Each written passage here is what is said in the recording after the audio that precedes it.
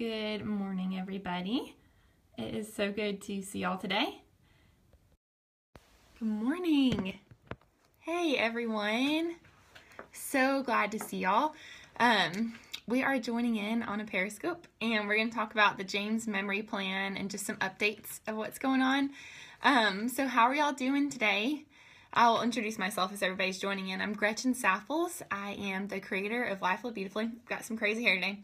Um, and today we're going to talk about ways that we can hide God's Word in our heart and how I'm practically doing that, and how um, maybe y'all can join in with me and do it together because there's something about doing it together. God has called us to be in fellowship with one another and um, to encourage one another. So that's what I want to do here. Um, but as y'all are joining in, I would love to know um, Thank you. Someone, you were there, Heather? That's awesome. Or were you there? did you watch the recording? So on Tuesday, I taught a class on um, studying the Bible with the Influence Network, and um, a few of y'all were there. It was awesome, and I know some of y'all probably just got the recording too, because um, it's kind of late. Good morning. That is my sweet mama joining in. And um, so, where are y'all right now? I'm in Knoxville, Tennessee.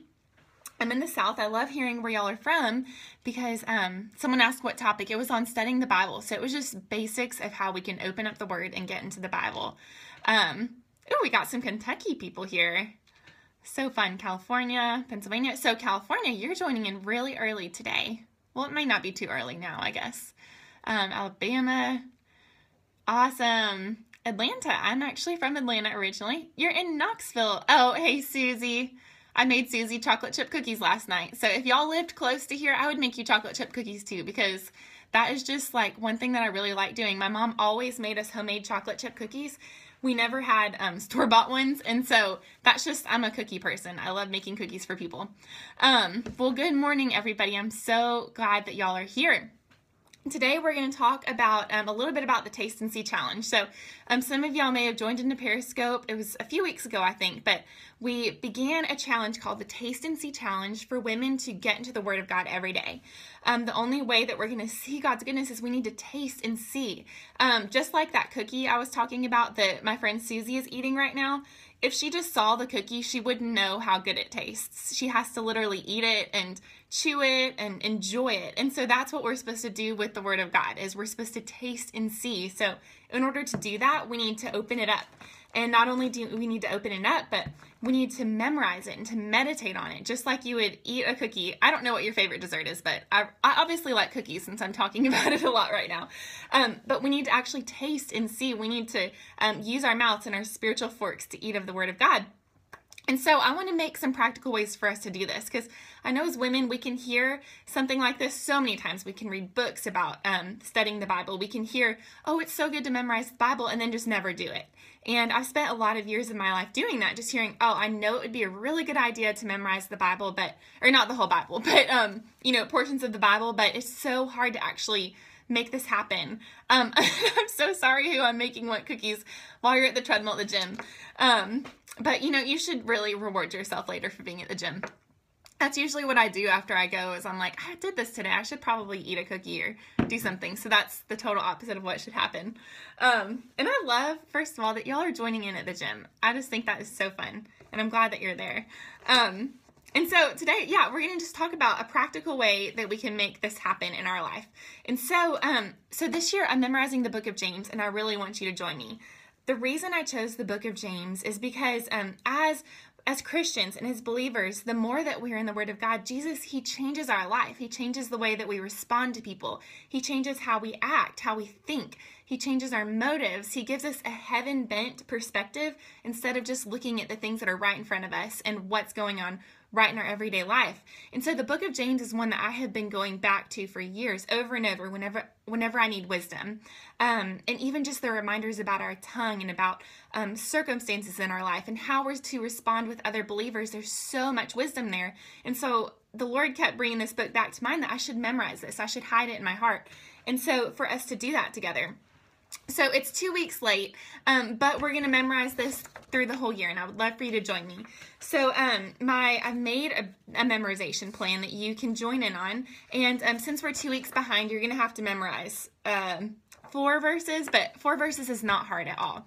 Um, and so we'll just have to catch up a little bit. So my amazing um, junior designer Kyla helped me make um, some memorization plans. So you can actually print these off and you can put them in your Bible. You can, I'm going to hang mine on my mirror. I'm going to share a second in a second how I practically memorize this every day because um, I totally feel y'all. I'm busy. I have a husband in ministry.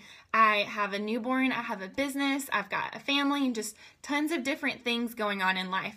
But there really is time. We can reclaim our time and we can hide God's word in our heart. It's it's the most important thing that we can do, and it's going to bring us so much joy and so much fruit to our lives. And so, um, if you go to either my profile on Instagram, there's a link to it. Someone just asked where you can get the plan. So if you go to at Life Lived Beautifully on Instagram, you can find a link. Or um, if somebody if somebody knows my website name, you can type it in. But it's lifelivedbeautifully.com slash blog, and that's the blog post that's there. You can print these off. Um, she's also made cards that you can print off. Somebody did the Beth Moore James study. I haven't done that. Um, it was actually taped at the church that I used to work at, and I know she challenges everybody to memorize the whole book. So um, she does it pretty fast. We're going to do this over a year, but you can do it faster if you want to. Um, so she has made these cards also that you can print off and you can write the Word of God. So I'm going to challenge you to do that. Um, and then also some cards that, or this is kind of the the introduction. And then she's also made cards that you can print off. I don't know if I've got those right here. Um, and put it on, let's say, put it on the dashboard of your car. Um, you can put it on your mirror. You can keep it with you whenever you're cooking. And so, literally, to place God word in place, God's word in places that you're going to see every day, and then immediately you can go, okay, I'm gonna I'm gonna think about this verse. I'm gonna say it. Um, so she's created all these things. We also have free iPhone lock screens. I would show you, I'm on my phone, but I'm using the lock screen. So every time I open up my phone, I see that verse and I'm going through it in my head. And then um, I'm also going to be using the Be Still and Know Memory Journal. Um, we're get we're doing a giveaway on at LLB Shop. That's our shop Instagram. Um, and so this memory journal actually has 51 scripture cards. There's 52 weeks in the year, so you can double up. So essentially, this whole um, memory book is going to be the book of James for me. And so I've just started filling it out. I've got James, um, the first few verses right here, and I'm going to keep it with me as I go. And so, the most practical way that I memorize the word, and I want y'all to join in with me and tell me how you memorize the word, but is in the bathroom. I know that sounds really weird. But so for me, the bathroom was a struggle for a long time. Um, when I was in college, I struggled with body image and um, and seeing myself the way that God saw me, and I would actually look at the mirror and not see the image that was really there. And so it was a stronghold for me for years. And I can say that the way the Lord broke me of that bondage was to memorize God's word. So I made note cards and I carried them with me wherever I went. I put note cards all over my mirror to remind me of God's truth. And so I used that time that whenever lies, Satan would be bringing lies into my head, I would speak the truth to myself. I would speak his truth out loud. I would say, God, I believe your promises and I believe that your word says this and this is true. And so the bathroom can be such a place of bondage for us. And then it's also a place we go to every day. Every single day you um, put on your makeup. Well, maybe not every day you put on makeup, but um, every day you just have to go in there. You have to shower. Someone said you brush your teeth. I mean, there's just simple things that we do in the bathroom. There's other places that you can do this as well. But for me, um, a lot of times I have my baby sitting in a little bumbo right there. And so I am keeping this with me and I'm saying this out loud. So um, I know he's seven months old, but I still believe that him hearing this is important. And so, um, so I keep this with me as I'm putting on my makeup, drying my hair, and I say it out loud. Um, another thing that I do is I write it in red, which is something that my mom taught me. She was a teacher, and um, someone said you put it on the car dash and read it at red lights. That's a great idea. Um, I had a college girl who memorized the entire book of Philippians over like it may have been two weeks. Taylor, if you're joining in on this, tell everybody how fast you did this. But she drives every day for like 30 minutes and she memorized the entire book of Philippians while she drove and she was so excited. She just is so excited to memorize God's word now. She has seen that it's possible and how much fruit that it brought to her life. So um, there's there's this little secret that just if you're in school right now, if you write in red, that it helps stick in your mind. And so that's one thing that I do is I write scripture in red, and then um, as I go, I circle words. Um, I circle things. I underline different key points that it says. And um, whenever I'm using my Bible um, I just got a journaling Bible that I'm using to study, and I like it because um, a lot of times I like I kind of get distracted and I go all over the place, and I like it because I just stick to the Word of God, and it's just helping me see things from a fresh point of view. So I use my journaling Bible. This is not open to um, James right now, but and I'm using it to study as I go. So not only am I memorizing it, but I'm studying it. I'm breaking it down. I'm saying, okay, God, what does this tell me about you? What does this tell me about how my life should look different and how I should obey you? And so, um, so yeah, you can go and you can win this. And I would love to know, are y'all going to join in with me on this? Um, I'm going to be posting throughout the year on Instagram. I'm going to do periscopes and um, we're going to talk through how we can do this. Um, someone says you put them over the wall so you can review it while you're in the kitchen. That's another great thing is while you're cooking. Um, if you're having a hard time getting into the Word of God, just open your Bible while you're cooking and even just have it there to look at. Um, another thing for the person who said that you are on the treadmill right now, that's another way that I memorize the word. So um, I studied for this in college. I, um, whenever I'm going to speak somewhere, I actually take it and I'll talk through it in my head as I'm on the treadmill. And so, a way that we can even use that time wisely is just to bring something like this with you and memorize the word.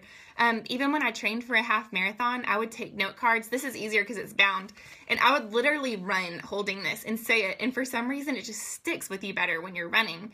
And so, um, so I'm so glad you're joining in, Megan. Never memorized the whole book. Me either. So we're doing it for the first time together. We're memorizing a book of the Bible together. It's going to be awesome. And I'm excited to see the fruit that God brings in our lives as we um, memorize. And we do this so we can know Him more. Um, in order to know Him, we've got to know His Word. Just like with my husband, um, I'm not going to know him if I don't spend time with him. And so with the Lord, we know him more the more time we spend with him. And that's even as you go throughout your day, as you're doing the laundry, as you're on the treadmill, as you're at school or work, we can get to know him as we go throughout our day. So um, I'm glad that y'all are joining in on this memory plan. Um, I wanted to give y'all just a few quick updates, even of things that I'm working on for Life Lived Beautifully right now. Um, oh, one, one more quick thing. Memorizing this book, it's only going to be two to three verses a week. There's 108 verses in the whole book, and so broken down over every week in the year, only two to three verses. So we can totally do this. Um, we memorize song lyrics in, in a day if you find a song that you love. And so surely we can memorize the Word of God and um, see the truth and the fruit that it's going to bring up in our lives. So, um, yeah, I'm glad that y'all are joining in. I wanted to give y'all a few quick updates of just things that um, that I'm working on. And so right now we're gonna have a shop lunch in February. We've got a lot of really exciting things planned this year. And honestly, for any of it to get done is just going to be a miracle work of God. Um, I work in between nap times, and a lot of these things are just, they're so much bigger than anything that I could ever do or make happen. And um, I believe that's what big dreaming is about. It's about going, okay, God, this is for you, for your glory. And the only way that it's going to be done is if you come and you do this. And so at the end of the day and at the end of my life, I want to be able to go, this is a work of God. This is not something that I made happen in my own strength. This is something that that God completely did.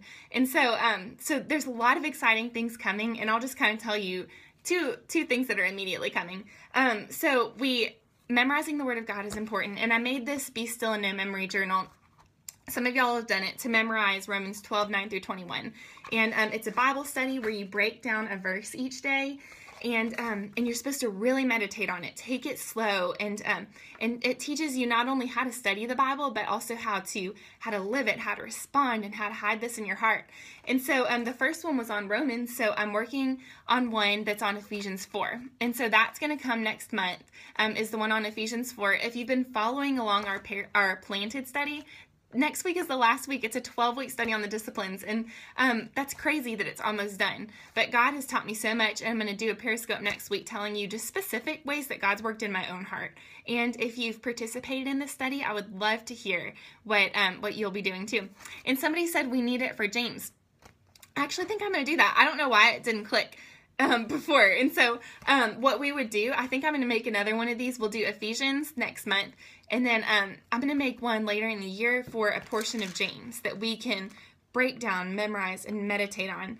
Um, and so, yeah, that's an awesome idea. I think it's Tiffany. I think that's your name that I saw.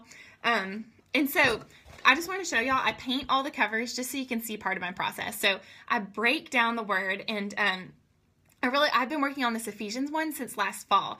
And not only that because God whenever I'm working on a study, he doesn't just let me write it and say and give it to y'all. He he makes me implement it in my own life. So the reason it's taken me so long to create this new study is because he has been having me be obedient in in certain things in my own walk with him. And so um so even just memorizing it myself has proven um I, I've seen him in so many areas and relationships in my life and um, just different truths that he has hidden in my heart. So sometimes it takes me a long time to come out with studies because he really is working and scrubbing my soul as I write it. And so I just want to show y'all, this is going to be the cover. So I hand paint everything. Um, this is this is literally the painting. And so it'll look really different whenever it's actually on the cover. But this is the cover, so it's really fun and colorful and pink and girly. Um, and then we're gonna, I'm gonna create another study that's on well-watered women. So if y'all follow along with the hashtag well-watered women, um, the whole purpose of that is for us to bring our empty cup to the well of God's word. It's literally this well that we can drink deeply of. It satisfies us. Um, it gives us everything that we need. And so um, the reason it's called well-watered women is that we would come to the well each day. Um, and I love the picture of the well because the well is something that women um that in the in the Bible specifically we don't have wells today. We don't have drinking wells but um there's a lot of different places where the Bible talks about the well. And in John 4 Jesus even met the woman at the well. He met her right where she was in her everyday life and he offered her living water not just um someone asked will you make new index cards? Yeah I'll, I'll answer that in just a second. Um and so not just that we would come um the, the well the well sorry i got distracted. Um, is something that women would go to every day. They would fetch the water. We know we need water in order to live. And so jesus he met her right where she was and he said hey this water you're gonna have to come back to every day but i can give you living water that is gonna satisfy your soul. And he says that it will even be a spring welling up inside of you. And so as well-watered women that is how we seek to live. So um, anyways i'm creating a study that for those of you who follow along with that it's just something that we can have that even we can give to our friends that we can talk about how can we live as well-watered women in a world that is really dry. Um, a lot of times we live it as a dried up well. Um, just letting all of these things steal our joy, steal our hope, steal our purpose. And yet, God's word, it is the opposite. It gives us joy, it gives us purpose, it gives us hope. And so, um, so those are things I'm working on. And for those of you who have a Give Me Jesus journal, we're praying about the next one that's going to come out in the in the spring, and um, also working on a study. Um, I might, I'm not going to tell you the next study we'll wait until later because um, I'm still praying about it, but I'm super excited about another study that's coming this spring. Um, and so, yeah, those are just some random things.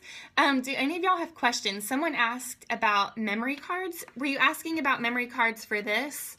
Or um, we're going to update each week. We're going to give you more free lock screens. We're going to give you lock screens for every single verse in the book of James.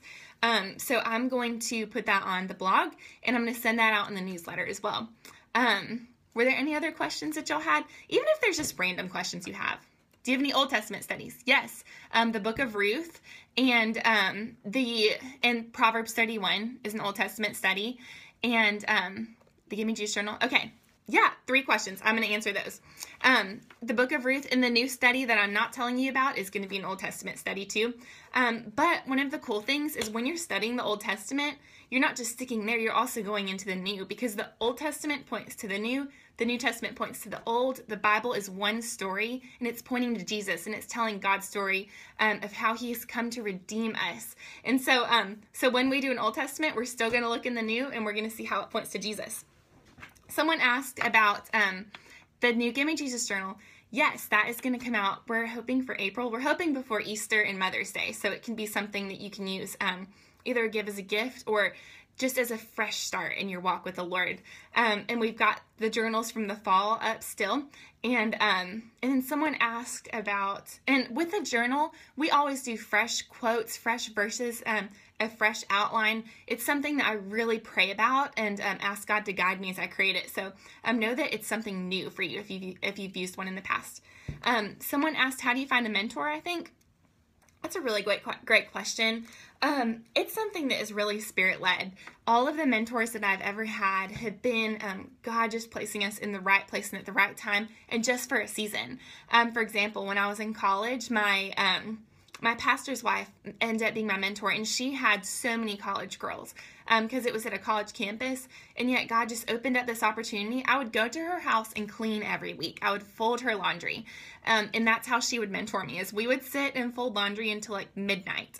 I would help her clean her kitchen, and I would spill my heart to her, and she would tell me truth in response. And um, and honestly, she mentored me not only in my walk with God, but even just being a disciplined woman. And um and I wasn't married then I wasn't even dating but I got to see how she um how she raised her five children and how she loved her husband who was a pastor. And so um mentoring it doesn't always have to look like sitting in a coffee shop and going through this study together. Sometimes mentoring looks like doing life with someone. So, if there is someone in your life that um, maybe it's an older woman that you just want to learn from, and maybe she's got a bunch of kids and you're afraid to ask her to mentor you.